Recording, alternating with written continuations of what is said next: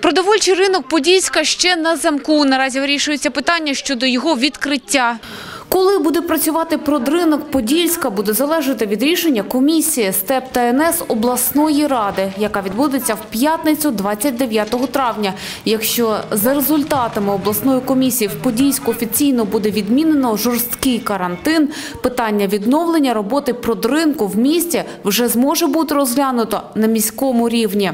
Враховуючи епідситуацію в місті, захворюваність на коронавірусну інфекцію відносно пригальмувалася.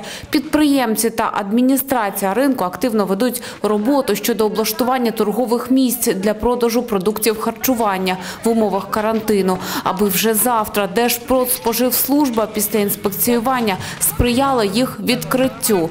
Підприємці встановлюють захисні екрани. У кожного має бути в достатній кількості антисептик, маски та рукавички. Непродовольчі ж ринки працюють також за умов дотримання санітарно-епідемічних заходів безпеки. Проте продавці кажуть, що торговля йде краще, коли все ж таки працює продовольчий ринок. Наразі покупців мало. Вже відкрилися, але поки результату немає ніякого, тому що люди не приходять, тому що закритий ринок. Якщо були ворота відкриті, вони тоді б заходили, щось би купляли, а так ми стоїмо і люди розвертаються назад, коли відкриють ринок, коли відкриють ринок. А коли відкриють, неізвісно.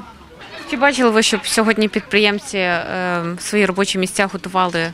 Ну так, да, сьогодні були, заходили в базар з тої сторони, і там теж купили пленку і е, пленкою обкутували свої міста, там, де в них продукти.